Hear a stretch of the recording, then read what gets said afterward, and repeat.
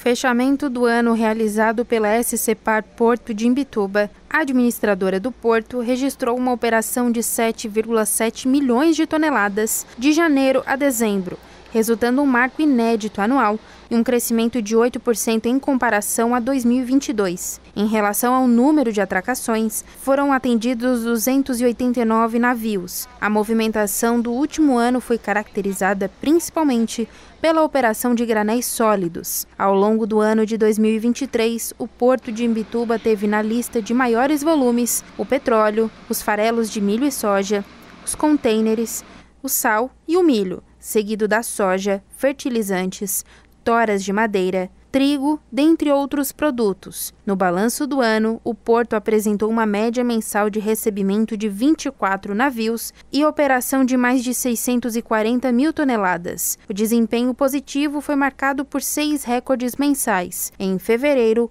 março, abril, maio, novembro e dezembro. Entre embarques e desembarques, as exportações lideram o fluxo de trabalho do porto. O principal destino das cargas foram para os países asiáticos, além de Portugal e Estados Unidos. No sentido inverso, as importações garantiram uma fatia de 35% das operações e as origens mais frequentes dos produtos ficaram por conta dos Estados Unidos, Chile, China, Argentina e Colômbia. Segundo dados do governo federal, as operações de comércio exterior em Imbituba movimentaram mais de 2 bilhões de dólares entre janeiro e dezembro de 2023.